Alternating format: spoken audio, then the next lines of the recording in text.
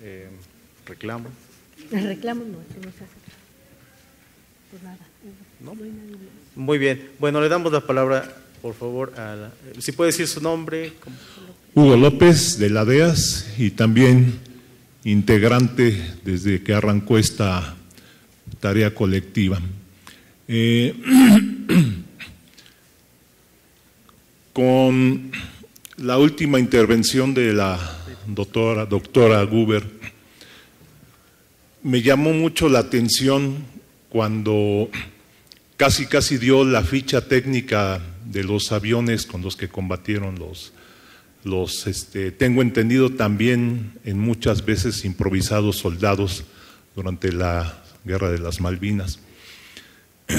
Y eso me hizo recordar a otro aparato eh, bélico, pero este durante la Segunda Guerra Mundial, el famoso bombardero, no me acuerdo qué, pero sí el nombre con que lo bautizaron, el Enola Gay, que era el nombre de la mamá del piloto que pilotaba este, el avión y que fue el que dejó caer las bombas en Hiroshima o Nagasaki. En estos momentos de, crisis, de conflagración, uno podía entender que Latinoamérica no ha sido un actor ajeno. Y ya de alguna forma esta perspectiva, pues nos remite inmediatamente a contextos de crisis. Me acuerdo que también durante la guerra de las Malvinas se acudía al famoso TIAR y creo que solamente Bolivia fue el único que estuvo dispuesto a, reaccionar y fuera de ahí nadie. Y las crisis se siguen sucediendo y su impacto y su reflejo en la academia también vuelve a ocurrir. Y recuerdo el capítulo más reciente aquí en México, cuando con la desaparición de los 43 estudiantes de Ayotzinapa, el equipo de antropólogos forenses argentinos vino a refutar y el gobierno los acalló y siguen insistiendo en esa verdad incuestionable. Pues la verdad es que esta bipolaridad se mantiene y en la academia sigue estando presente. Ahora, yo no sé qué tipo de crisis podríamos identificar ahora que, por ejemplo, en el caso de la antropología mexicana, siempre en el disfrute de esta paz institucional, nos ha dado la oportunidad de un devenir que pues ya lo señalaron los, los compañeros, Saúl, Marina y el, el otro compañero este, de las narrativas que no recuerdo su nombre y apellidos. Y yo encuentro en estas intervenciones mucho de sugerente, mucho de polémico y mucho de contradictorio. Así que yo pensaría, ¿cuál es entonces la crisis en la que estamos actualmente? Que no es de este orden bélico, que no es de este orden este, de urgencia nacional, pero sí es de un nuevo orden, de un orden mundial que está avasallando y que parece que aún desde la academia nos seguimos aferrando a estar anclados.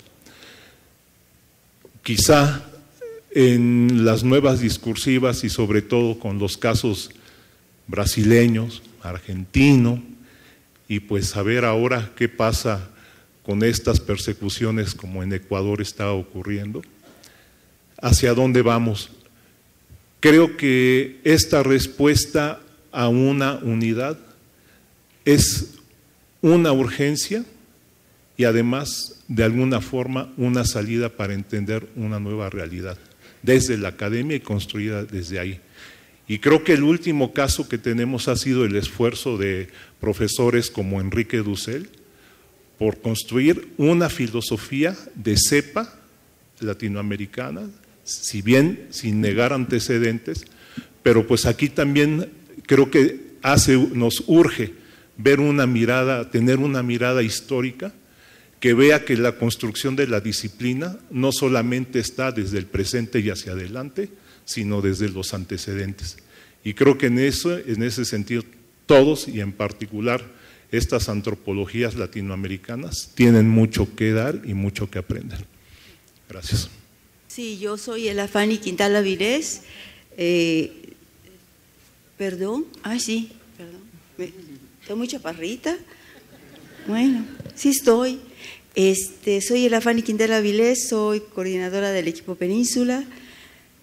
Llevo 20 años en el proyecto de coordinadora todo el tiempo, conozco a todos los compañeros que está, del proyecto que están en la mesa, conozco a Rosana. Estuve, estaba en el aeropuerto de México despidiendo al Argelmex, a Eckhart, a Armando, a Juan Luis, ¿a quién más? A Esteban. A Esteban, sí, también. Por eso estaba en el aeropuerto, ya me acordé.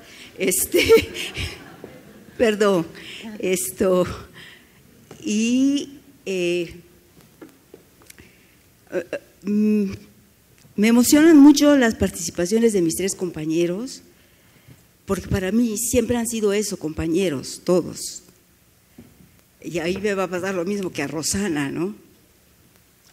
Eh, y sí pienso que quizá porque soy yucateca, porque estoy todavía lejitos del centro de México, eh, quizá porque no asistí suficientemente a muchos debates y a muchas discusiones cotidianas del proyecto de etnografía, pues eh, veo que todos los, me refiero sobre todo a los compañeros del proyecto que hablaron, como dice Hugo, tienen aportaciones, tienen contradicciones y tienen limitaciones eh, de los datos de campo del proyecto. O sea, si vamos a hacer etnografía del proyecto, pues faltan datos, al menos para mí, desde Yucatán. Eh, agradezco mucho todas las presentaciones de los tres compañeros. Creo que nos urge sentarnos a discutir y poner todos los, todos los datos sobre la mesa, toda la información, ¿no? todos los factores, todos los indicadores, como dicen los eh, demógrafos, ¿no? para realmente eh, redefinir, seguir avanzando en este programa. Eh, bueno, yo creo que ya algunos de nosotros ya deberíamos de, pedir un relevo, ¿no? porque ya empezamos con el pelo de un color y terminamos con el pelo de otro color, empezamos este, sanos y nos pasaron de todo, se nos quemó la biblioteca, ¿verdad Andrés? Y Andrés eh, todavía lo recuerda cada vez que me ve, se te quemó tu biblioteca, sí, se me quemó mi biblioteca. Esto, eh, porque yo creo que, experiencias que sí son colectivas, Marina, en diferente eh, nivel, o sea, tienen algo de colectivas, quizá no tan colectivas como se pudiera haber podido dar, pero sí tienen, o sea, esas reuniones nacionales eran colectivas, ¿no? Eran colectivas, nos pasamos dos o tres días juntos comiendo, discutiendo afuera y adentro de, la sala de reuniones. Eh, quizá faltó más colectivismo, ¿no? Pero sí, son, sí fueron colectivas. Eh, en ese sentido, eh, sí creo que urge eh, que los, de, los que empezamos, los que seguimos, los que se fueron, los que pueden regresar, etcétera, etcétera, deberíamos de sentarnos a pensar cómo seguir avanzando juntos a mí me gustaría que pudiéramos seguir avanzando juntos. Y muchas gracias a, Saúl, a Marina, a Miguel, a Rosana, por supuesto, por sus intervenciones. Muy bien, bueno, le damos la palabra, por favor, a la compañera. Si también se presenta, por favor, para que todos la conozcamos. Bueno, muchas gracias este, por las participaciones. Soy Cristina Masferrer de la Dirección de Etnología y Antropología Social del INA y estuve poco tiempo en realidad en el programa Etnografía, eh, en mi caso no trabajando con población indígena, aunque sí en regiones indígenas, pero con población afromexicana. Y eh, bueno, hasta donde tengo entendido, pues es algo que realmente se ha hecho poco a lo largo de estos 20 años. Entonces, bueno, yo pensaba, eh, bueno, primero muchas gracias por la conferencia y las demás participaciones. Eh, pensaba en la importancia de mm, las comprensiones de estas realidades tan complejas, no solo desde la etnografía de y con pueblos originarios o indígenas, sino también con población afrodescendiente y no solamente, ¿no? Me parecía muy pertinente la participación del investigador del CIESAS, perdón, que se me fue el nombre, este, mm, pensando en estas diferentes geografías. No veo hasta allá, José Luis, perdón. Bueno, este, y, y, también desde, desde nosotros, ¿no? Y desde nosotras, desde cómo nos consideramos este, las y los antropólogos, que a veces somos parte de alguno de estos pueblos, a veces no, pero sin duda alguna tenemos también orígenes pues bastante complejos en muchos casos. Eh, y me parece importante también construir estas antropologías desde el reconocimiento de las realidades latinoamericanas, que este, considerándolas desde esta complejidad. También me pareció muy importante el reconocimiento de la antropología y también de la historia atravesadas desde distintos ejercicios de poder, desde distintas dominaciones, violencias, explotaciones, despojos y guerras, y pienso en el contexto que vivimos ahora en, México y cómo a partir de este contexto podríamos o hacia dónde o cómo podríamos construir nuevas antropologías e historias o antropologías e historias renovadas desde nuestras realidades y pensando también desde el Estado. ¿no? Me, parece muy importante esta reflexión eh, que hace como pues servidora pública, porque en muchos casos este, los antropólogos en México también lo somos, en el caso de Lina, pues todos lo somos. Entonces, esa sería mi, mi pregunta, ¿cómo construir nuevas antropologías y nuevas historias eh, o antropologías e historias renovadas desde estos contextos y desde esta historia de guerras, de violencia, de dominación, de racismo, pero mirando también hacia la construcción de, de nuevas realidades y desde el Estado. Gracias.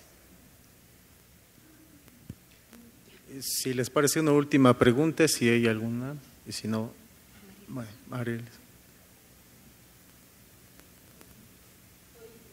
Velázquez, eh, de la Coordinación Nacional de Antropología. Quería agradecer la ponencia de todas y todos. Creo que hay muchas cosas en las que hay que reflexionar. Quería eh, hacerle una pregunta a Saúl. Eh, me gustó mucho su ponencia y creo que reflexiona sobre un campo pues, en el que estamos muchos de los del programa. Ahora, esto de la etnografía y de abrir el campo de la teorización más como una visión eh, de ilusión, que nos, que nos dijeras un poco más, Saúl. ¿Por qué una visión de ilusión en esta idea de teorizar de manera eh, simétrica? Eh, que desarrollaras un poquito más esa, esa idea. Y una pregunta quizá para todos o los que quieran contestar. ¿Qué sería ser etnología colectiva? ¿no? Un, poco con relación a lo que preguntaba Ela. O sea, ¿Tiene alguna diferencia? ¿Ayuda a hacer etnología colectiva? Eh, desde el programa, ¿qué ha dado? ¿Qué ha, qué ha mostrado eso y por qué, por qué sí y por qué no? Nada más, gracias. Muy bien, este, si les parece, le damos la palabra a la doctora Guber y luego al doctor Millán. No, el 80% de las preguntas fueron preguntas. No 80, no, no fueron preguntas. eh, no, eh, con respecto a la primera intervención, eh, no hay ninguna pregunta. fue Perú, me parece que adhirió al TIAR, eh, Panamá. Pero eh, una sola cosa, no, no, había pregunta, había una serie de consideraciones históricas y una propuesta. improvisados soldados. Los soldados no eran improvisados, en todo caso era todo una improvisación y eran improvisados estos eran improvisados, los pilotos eran improvisados, eran eh, tremendamente entrenados. Eh, No improvisa quien quiere, sino quien puede y sabe. Esa es mi reflexión. Se suele hablar de improvisación como un defecto. Si no, díganme qué es lo que hacemos en trabajo de campo. Eh, claro, o sea, si, vamos con todo cocinado, ya hicimos la investigación, ¿no? Y, creo que era una, pregunta para mí, la, última, eh, no tengo la menor idea, pero, mm, pero se, me, se me ocurre que si nosotros empezamos a pensar en cómo nosotros producimos conocimiento y en cuáles son los conceptos caros para nosotros en América Latina, al menos adentro de nuestros países, en las regiones, en las regiones del, continente, eh, y dejamos de hablar de centro y periferia, porque eh, no somos periferia, absolutamente ya no, eh, si no seríamos periferia de España antes, ¿no?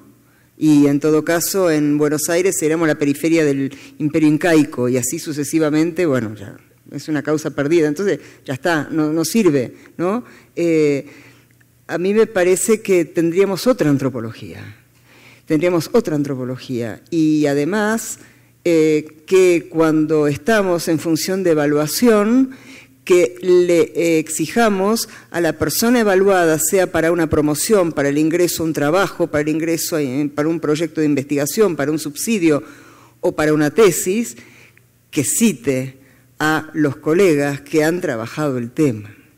Por favor, digo, con Marcus no, hacemos antropología. Marcus es uno de todos, ¿no? Eh, esta es la cosa, ¿no? nada más.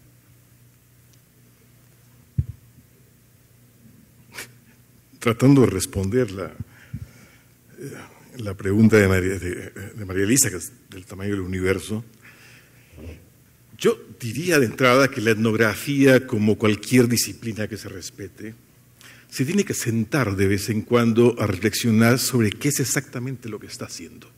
Es decir, cuáles son sus enfoques, pero cuáles son sus puntos ciegos también. ¿Qué es lo que no está viendo?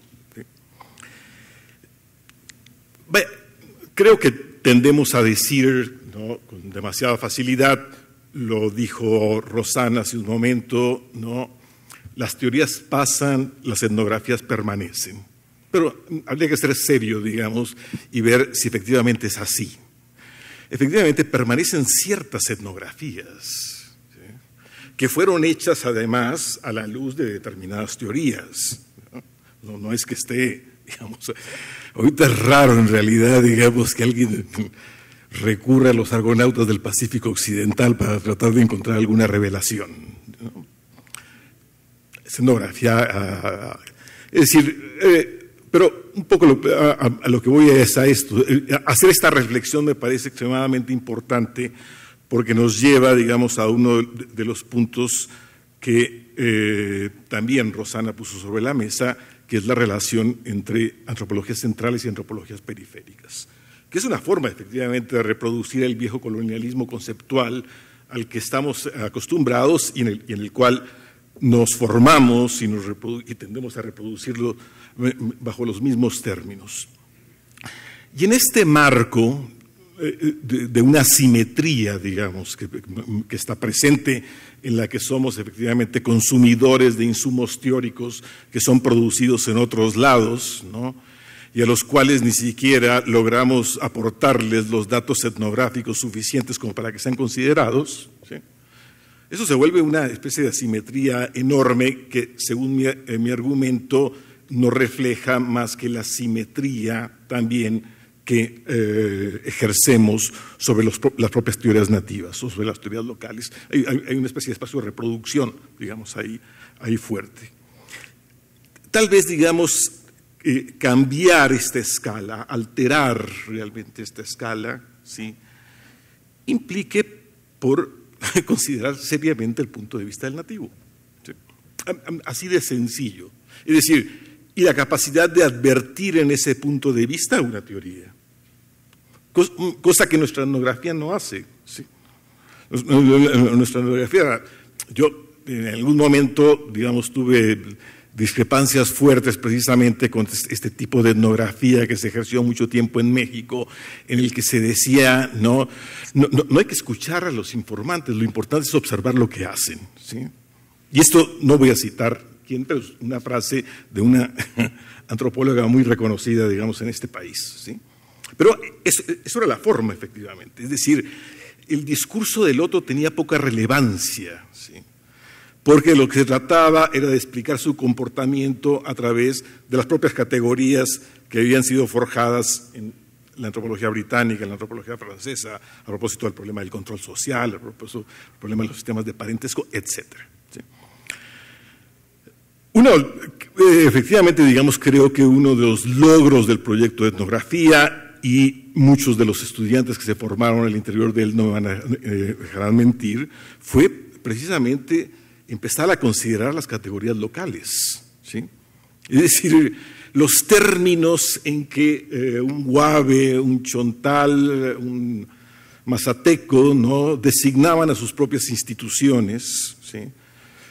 Y, esto nos daba, efectivamente, digamos, nos abría un margen de diferencia y de, diversidad que no estaba contemplado, perdón que lo diga, en las etnografías que no tomaron en cuenta el punto de vista del nativo ni sus, ni sus propias categorías. Ahí empezaron a surgir las diferencias. ¿Por qué es el porvenir de una ilusión? Porque efectivamente, digamos, implicaría ¿no? revertir esta escala en otros, en, en otros términos y hacer, por lo tanto, que el discurso local, el discurso nativo, adquiera las características de una teoría general que pueda ser efectivamente contrastada y comparada con otras teorías. Puse muy de paso, digamos, el, eh, el ejemplo de, los estudios amazónicos, de lo que se está haciendo particularmente en Brasil en, las últimas décadas. Y, yo creo que, que, lo que ha pasado en las últimas décadas en la antropología tiene, tiene eh, un elemento aleccionador que todos deberíamos de considerar. Por primera vez en la historia de nuestra disciplina, una antropología periférica como la antropología brasileña está poniendo a girar las antropologías centrales. A girar en el sentido de que les está cambiando la dirección que tienen que seguir y cómo deben hacerlo a la antropología que se hace en Cambridge, ¿sí? a la antropología que se hace en Francia, a la antropología que se hace, que se hace en Estados Unidos. Y eso es una lección enorme. Y creo, digamos, que vino de un procedimiento extremadamente sencillo, advertir la teoría nativa.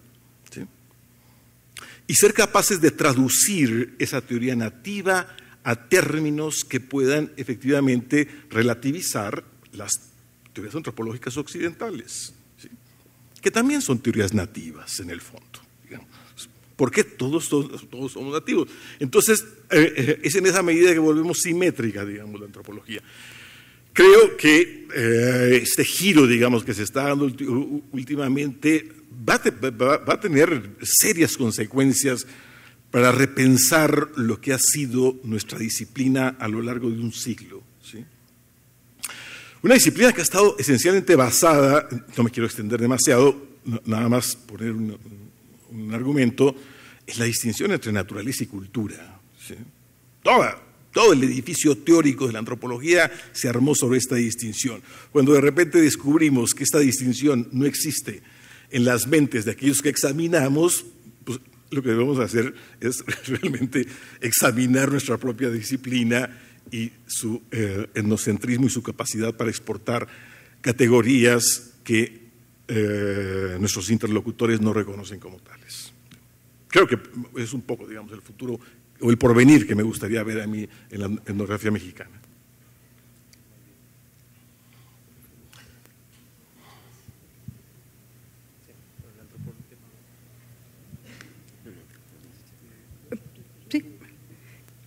Rapidísimo.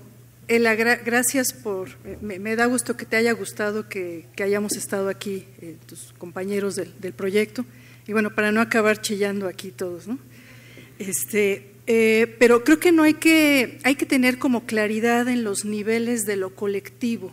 O sea, apelamos a lo colectivo en distintos contextos donde cobra un sentido particular. Entonces, claro, tienes razón cuando dices, pues sí hubo o si ha habido un ejercicio como proyecto de investigación colectiva, porque hubo debates, porque hubo esto, etcétera, etcétera. tienes razón hasta cierto punto, porque cuando dices es que yo estoy en Yucatán y entonces ya no, ya me perdí de ciertos debates, bueno, entonces sí es colectivo, no tanto, ¿no? Y el otro, otra esfera de lo colectivo eh, sería esta esfera metodológica que en algún momento remití yo, que era de si estábamos realmente haciendo etnografía colectiva, porque pues, ¿qué es eso? No? Entonces, bueno, eh, digo, eh, no, no hay espacio aquí para, para, discutirlo, pero me parece que sí habría como que tener muy claro los, eh, las esferas, ¿no? Y quizá yo no lo, no lo dije tan claro, ¿no? Este, que no se confundan los distintos niveles de lo colectivo.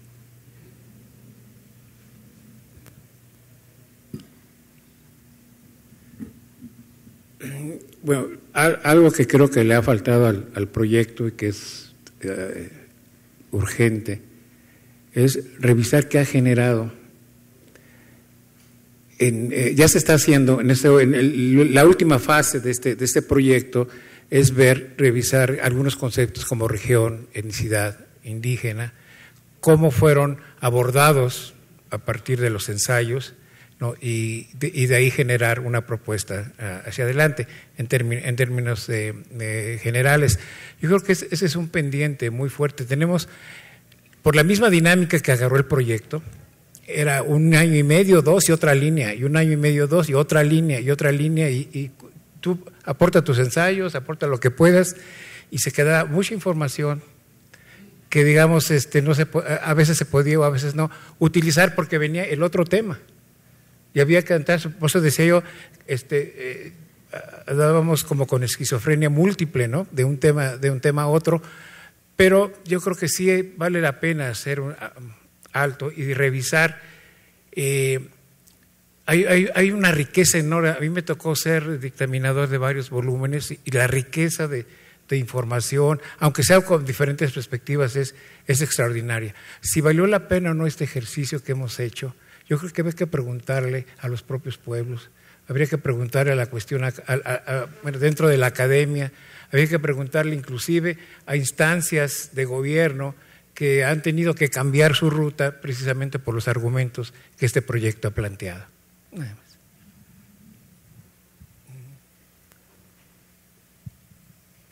Muy bien, muchísimas gracias a todos. Eh, bueno, también solo para comentar eh, un poco lo de, lo de eh, el, lo que mencionaba la doctora Elafani y Margarita, eh, perdón, Marina.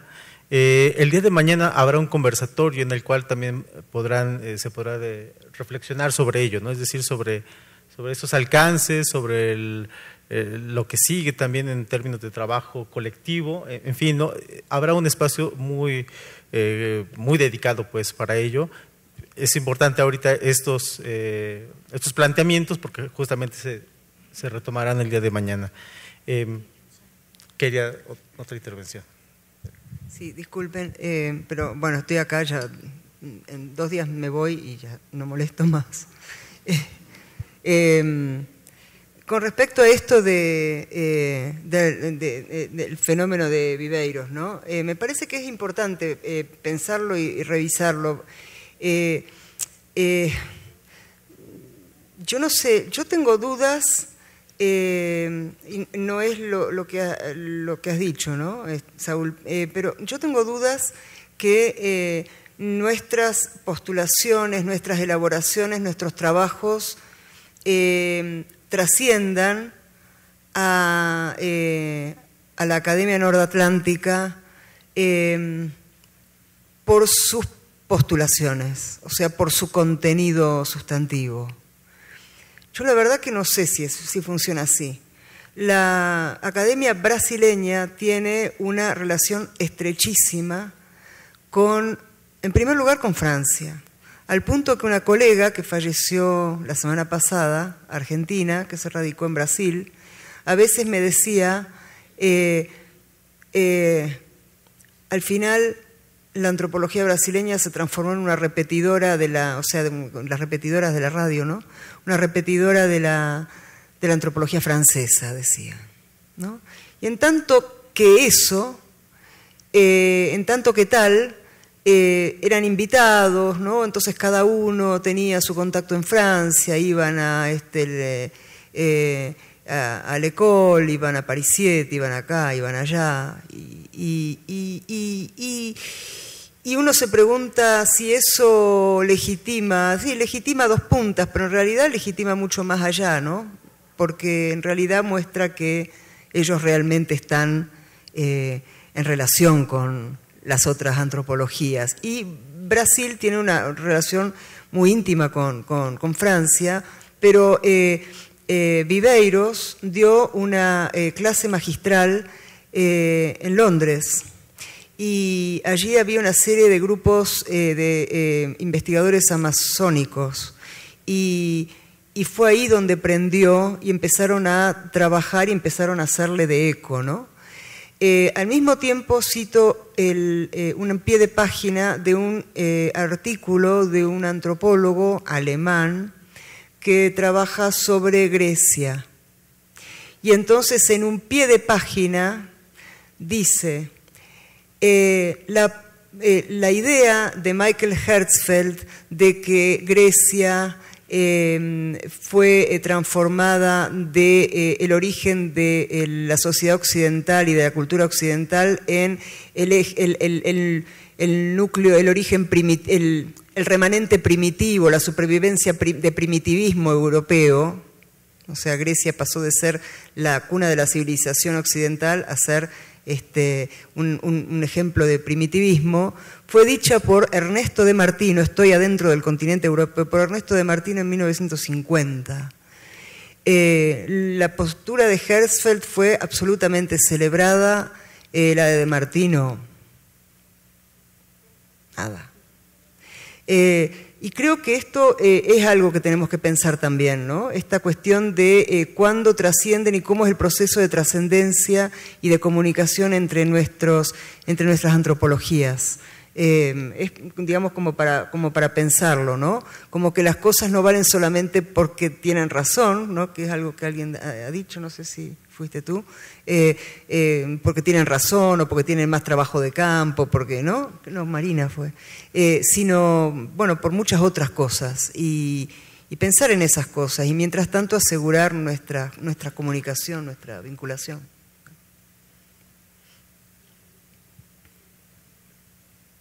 ¿Quiere usted? Sí. sí, un comentario breve. Creo que el producto del proyecto son una cantidad enorme de información y de libros y creo que antes de que podamos eh, ponderarlo necesitamos hacer discusiones parciales del material. Son más de 30 volúmenes eh, publicados con diferentes proyectos, con diferentes equipos y apenas así comenzamos a ver el conjunto. Y creo que antes de que podamos opinar sobre el proyecto de la Estación de Antropología, necesitamos discutir lo que hay en esos volúmenes yo he usado algunos, he visto muy buenos trabajos originales, de, producto, de, producto de discusión de equipo, y creo que todos los volúmenes tienen una parte de, este de esta discusión colectiva regional. Creo que es el momento de abrir la discusión y ver toda la obra por líneas y discutirla, porque creo que hay muchas cosas que decir de este proyecto que es el más importante actualmente sobre etnografía de México. O sea que estos 20 años sea un punto de partida para reflexionar sobre ese, esa montaña de material que tenemos y de hacer una discusión sobre aspectos teóricos, metodológicos, informativos que están ahí. Nada más. Muy bien, pues agradecemos a todos nuestros exponentes eh, justo esas miradas para poner sobre la mesa esa reflexión y ese debate del Programa Nacional de Etnografía a sus 20 años. Eh, nuevamente les agradecemos a todos, eh, a nombre del Instituto Nacional de Antropología e Historia, y los invitamos a continuar las jornadas del día de hoy a las 4 de la tarde en, esta misma, en este mismo espacio. Muchísimas gracias a todos.